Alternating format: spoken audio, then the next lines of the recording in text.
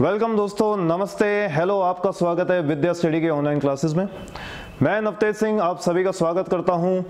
और नए साल की शुरुआत के साथ इंडियन रेलवेज जो कि भारत का सबसे बड़ा फाइनेंशियल एंटरप्राइज है, आप लोगों के लिए लेके आया है आरआरबी जेएन की वैकेंसीज जी हाँ दोस्तों 14000 से ज़्यादा वैकेंसीज और उसके अंदर 8000 वैकेंसीज आपके इलेक्ट्रिकल और मैकेनिकल के लिए।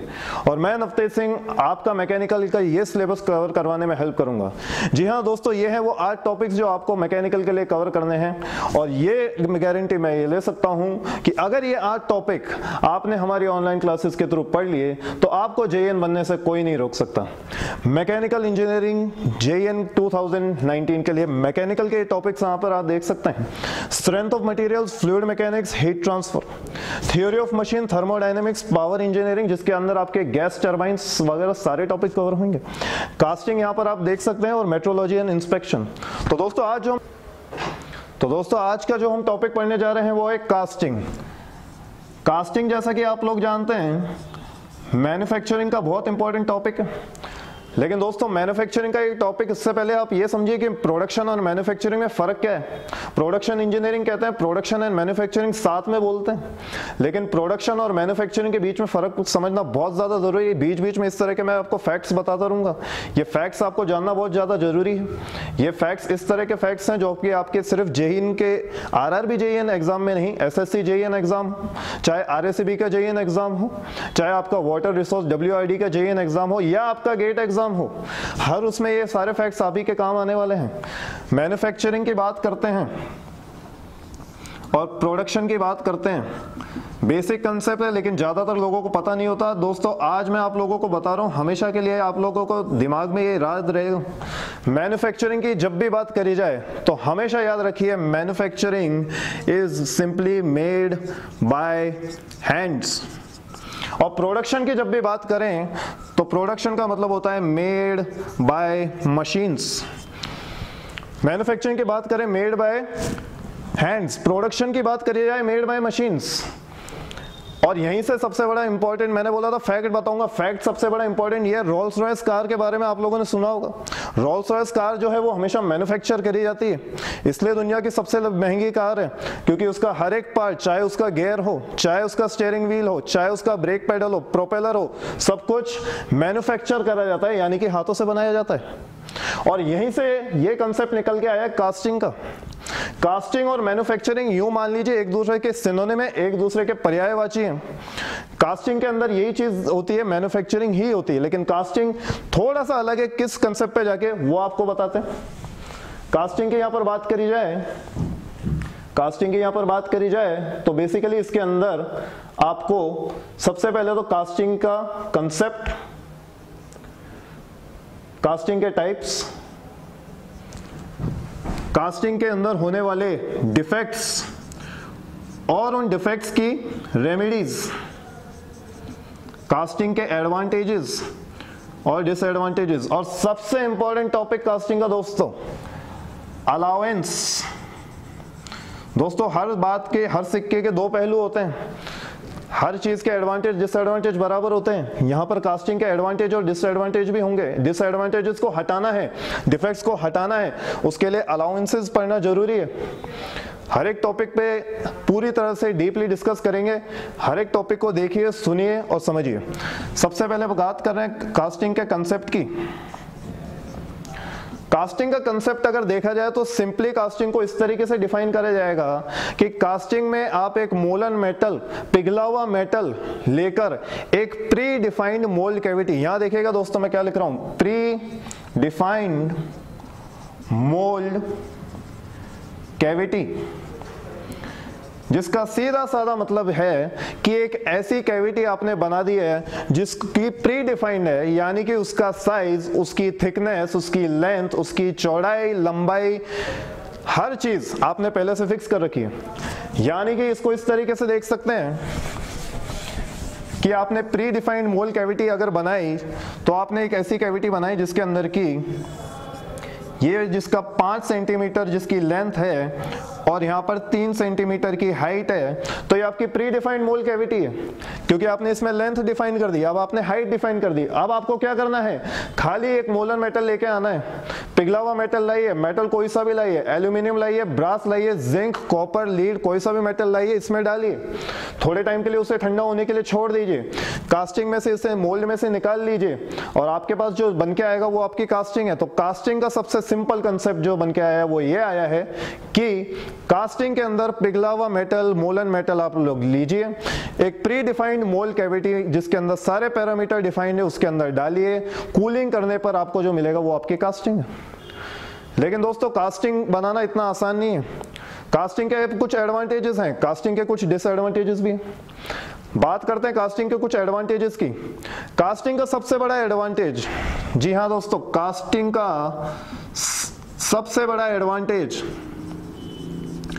कि ये एक बहुत ही सिंपल मेथड है कॉम्प्लेक्स पार्ट्स बनाने का कॉम्प्लेक्स शेप्स बनाने का। और कॉम्प्लेक्स शेप से मेरा मतलब है कि यहाँ पर ये यह हमारी मोल्ड था। इसके अंदर आप मोलर मेटल डालिए, आपको इस तरह की कास्टिंग तैयार होकर मिल जाएगी। आप कैसा भी मोल्ड बनाइए, किसी भी शेप का, किसी भी साइज़ का, किसी भी लेंथ का, कितना भी मोटा, छोटा, बड़ा, सब आपकी चॉइस है। उसके अंदर मोलर मेटल डालिए, जैसे ही उसके अंदर मोलर मेटल डाला, आपको कास्टिंग मिल जाएगी, यानी कि कॉम्प्लेक्स शेप आप इजीली कास्टिंग के अंदर बना सकते हैं। जैसे ही आपने कॉम्प्लेक्स शेप बनाए तो दूसरा सबसे बड़ा एडवांटेज दोस्तों, और इसके ऊपर आप मान के चलिए कि कभी कभी क्वेश्चन बन सकता है। डायरेक्टली क्वेश्चन इसमें ये पूछा जा सकता है, क्योंकि मैन्युफैक्चरिंग के दोस्तों, और जो प्रोसेसेस हैं कोल्ड वर्किंग प्रोसेस हो हॉट वर्किंग प्रोसेस हो, या उसके अलावा एक्सट्रूजन प्रोसेस हो फॉर्मिंग प्रोसेसेस हो, लेकिन यहाँ पर कास्टिंग एक जो प्रोसेस है, ये एक ऐसा प्रोसेस है जो आपके ब्रिटल एंड डक्टाइल दोनों ही मटेरियल के लिए अच्छे से काम आएगा। ब्रिटल और डक्टाइल दोनों ही मटेरियल के लिए ये प्रोसेस पूरी तरह से यूज़ करा जा सकता है। दूसरे जो प्रोसेसेस हैं, वो या तो ब्रिटल के लिए ही डिफाइंड है या डक्टाइल के लिए डिफाइंड है, लेकिन ये आपका जो प्रोसेस है, इसका एडवांटेज है कि ये ब्रिटल और डक्टाइल दोनों के लिए डिफाइंड है। तीसरा एडवांटेज ये एक लेस एक्सपेंसिव प्रोसेस है, क्योंकि यहाँ पे जो टूल्स इस्तेमाल किए जा रहे हैं यहाँ पर जो टूल्स इस्तेमाल किए जा रहे हैं, वो बेसिकली या तो आपके लकड़ी के पैटर्न्स बनाए जाते हैं और दूसरा आपको एक बेसिकली सैंड लेके आनी होती है। तो वो सैंड और लकड़ी के पैटर्न्स ये इस प्रोसेस को लेस एक्सपेंसिव बना देते हैं। और चौथा and main advantage multiple production multiple production जी हाँ दोस्तों, जितने ज़्यादा पैटर्न आप लगा सकते हैं, उतने ज़्यादा पैटर्न लगाइए। हर एक पैटर्न के अंदर, हर एक मोल्ड के अंदर अपना मोलन मेटल डाल दीजिए। जितना ज़्यादा आपने मोलन मेटल डाला, जितने पैटर्न आपने डाले, उतनी आपकी कास्टिंग तैयार हो सकती है। लेकिन जैसा कि मैंने पहले बताया, हर सिक्के के दो पहलू होते हैं। एडवांटेज हैं तो डिसएडवांटेज भी होंगे। डिसएडवांटेजेस की बात करते हैं। कास्टिंग के कुछ डिसएडवांटेजेस कास्टिंग के डिसएडवांटेजेस कास्टिंग के डिसएडवांटेजेस की बात करें तो सबसे पहला डिसएडवांटेज इसका ये है कि ये एक लेबरियस प्रोसेस है। यानी कि इसमें जो मजदूरी लगेगी, जो मेहनत लगेगी, वो ज़्यादा लगेगी। जी हाँ मैंने कास्टिंग को पहले एक सिंपल प्रोसेस बताया, लेकिन यहाँ मैं इसे मजदूरी या ज़्यादा लेबरियस प्रोसेस बता रहा हूँ। जी हाँ दोस्तों कास्टिंग बनाना सिंपल है। कास्टिंग को बनाना सिंपल है।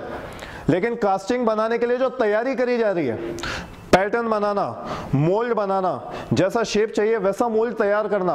वो प्रोसेस जो है, वो लेबरियस प्रोसेस है।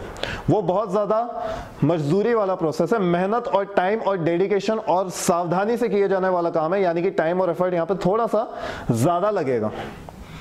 दूसरा, सबसे बड़ा डिसएडवांटेज कास्टिंग जब हम बना रहे हैं, जब हम कास्टिंग बना रहे हैं, उसको जब हमने मोलन मेटल को उस मोल्ड के अंदर डाला मोलन मेटल को मोल्ड के अंदर डाला तो मोल्ड जो आपका था, वो कैसा था? वो रेत का बना हुआ था, वो सैंड का बना हुआ था आगे जाके दोस्तों, हर चीज़ को डीप में डिस्कस करूँगा कि सैंड किस तरीके से यूज़ करी जाए। ड्राई सैंड यूज़ करी जाए या कोर सैंड यूज़ करी जाए। कोर सैंड यूज़ करी जाए तो उसके अंदर कौन सा बाइंडर मिलाया जाए, क्यों मिलाया जाए, कैसे यूज़ होगा फैक्ट्स को बताते हुए आपके जो क्वेश्चन आ चुके हैं या जो क्वेश्चन आएँगे, सभी एक साथ क्लियर हो जाएँगे। यहाँ देखिए, मैंने बताया कि लेबरियस प्रोसेस है कास्टिंग लेकिन दूसरा सबसे बड़ा डिसएडवांटेज इसका क्या है? दूसरा इसका सबसे बड़ा डिसएडवांटेज है वो ये है कि इसके अंदर सिलिका ग्रेन्स जो हैं, वो आपकी कास्टिंग के ऊपर स्टिक हो जाते हैं। Silica grains stick on casting यानी कि आपने जो कास्टिंग तैयार करी, उसके ऊपर मिट्टी के कुछ कंकर और दाने लगे हुए होंगे। यानी कि उनको हटाने के लिए आपको उसकी दोबारा मशीनिंग करनी पड़ेगी। और जैसे आपको उसकी मशीनिंग करनी पड़ेगी तो आपकी जो कास्टिंग है, उसका साइज़ रिड्यूस हो जाएगा। यहीं से फ़र्क पड़ेगा दोस्तों कि उसका मास भी कम हो जाएगा। तीन तरह के प्रोसेस होते हैं। एक होता है पॉजिटिव प्रोसेस जिसमें मास एड होता है, जिसको ज्वाइनिंग प्रोसेस कहते हैं आप लोग वेल्डिंग एक होता है नेगेटिव प्रोसेस यानी कि मशीनिंग प्रोसेस जिसमें मशीनिंग आप अपने टूल की हेल्प से मशीन की हेल्प से उस मटेरियल उसके वर्क पीस के ऊपर से मटेरियल हटा देते हैं। तो वो एक नेगेटिव प्रोसेस है जिसमें मास कम हो रहा है। एक होता है ज़ीरो प्रोसेस जो कि फॉर्मिंग प्रोसेस होता है, जिसके अंदर ना तो आप मटेरियल ऐड कर रहे हैं, ना मटेरियल को रिड्यूस कर रहे हैं। यानी कि इसका बेस्ट एग्जांपल आप सोच सकते हैं क्या? इसका बेस्ट एग्जांपल एक कुम्हार जो मटका तैयार करता है तो जितनी मिट्टी लेता है, उसी मिट्टी का मटका बनाता है। खाली शेप चेंज करता है, लेकिन ज़ीरो प्रोसेस है क्यों? क्योंकि उसके अंदर उसने ना तो मटेरियल ऐड करा है, ना रिड्यूस करा तो कास्टिंग के अंदर बात करें सिलिका ग्रेन्स जो है, इसके कास्टिंग के ऊपर जाके लग जाएँगे। सिलिका ग्रेन्स तो उनको हटाने के लिए मशीनिंग प्रोसेस करना पड़ेगा। जैसे ही उसके अंदर मशीनिंग करी तो उसका वेट रिड्यूस होगा, उसका मास रिड्यूस हो जाएगा।